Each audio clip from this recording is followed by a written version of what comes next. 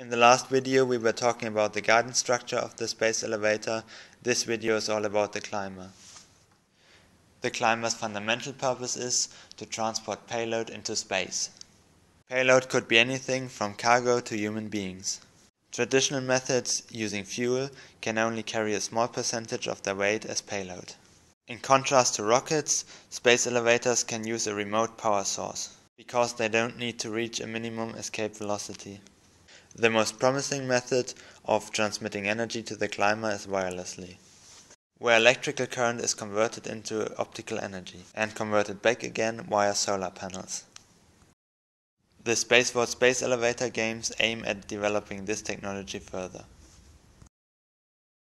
Once on board, the energy needs to be converted into mechanical work to move the climber. The diagram shows a very standard method of doing so.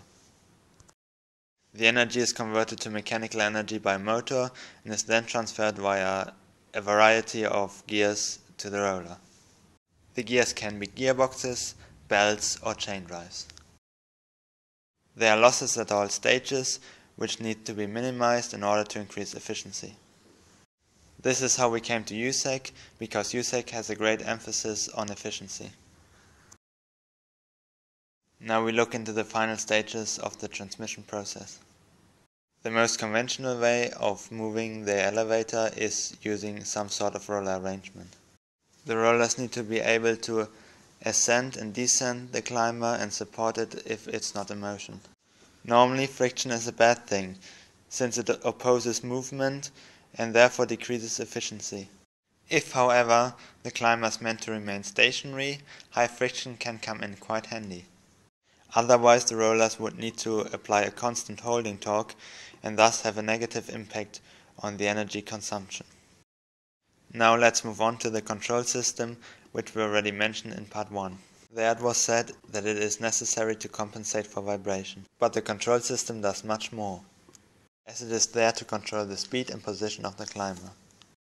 When living beings are on board the space elevator, it is also necessary to provide them with the necessary favorable uh, living conditions.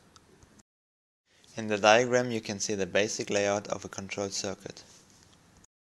An input is forwarded to the function component and this produces an output. This output is then fed back and compared with the input, so that the desired output can be reached. The last major topic is safety, which is of great importance with any system. The space elevator incorporates a lot of subparts that are used in industrial applications, such as gearboxes, motors, etc. For these components, industrial standards are ready in practice to ensure their safety. These subcomponents only need to be adapted to be used in a space elevator. The climber and payload need to be secured to protect those on or around the space elevator. The Japanese space elevator competition focuses on safety. This was a very brief introduction into the climber structure. If you would like this slide, please find a link in the description. Thank you very much for watching this video. We hope you enjoyed. Please comment, rate and subscribe.